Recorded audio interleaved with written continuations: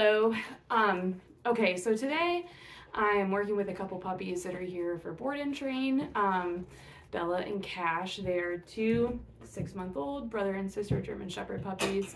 Um, and one of their mom's major complaints is that they always attack the broom. So um, we've already been working on their no reward marker a lot. We've been working on their leave it a lot.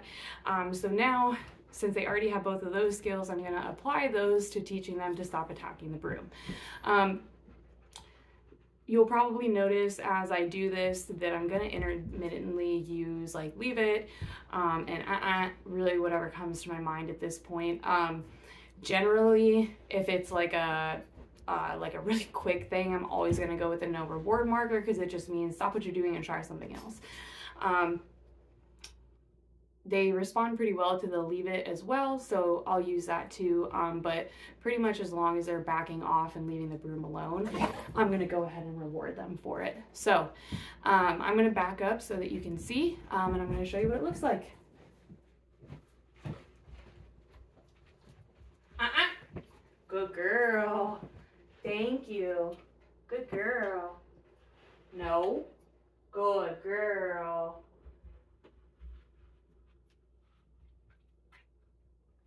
Leave it. Good girl. Good girl. Leave it. Uh-uh. Good girl. So what I'm doing right now is I'm giving her the leave it cue as like a prep thing so she knows that something's coming. And then I'm using my no reward marker to correct her if she still tries to go for it anyways. Yes, good girl. Good girl. Leave it. Yes, good girl. Oh, there's a good Bella. Leave it. Uh-uh. Leave it. Good girl. Thank you. Good girl. Leave it. Good girl.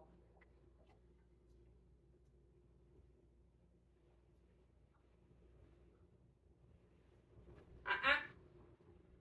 Good girl. Thank you. Leave it. Good girl. Good girl, Bella. Leave it. Good girl. Thank you. That was a hard one, huh? Bella, can we sit?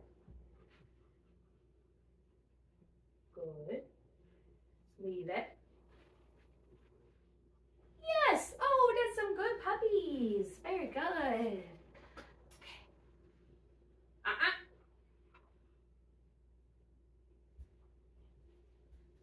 Leave it.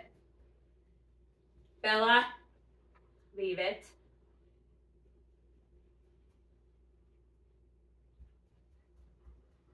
Yes, that's a good Bella. Yes, it is. That's a good Bella. Leave it. Oh, good girl. Uh, good girl. Irina, a treat. Let's go get you a treat. Come on, let's go. Okay, so that's how we would go about that.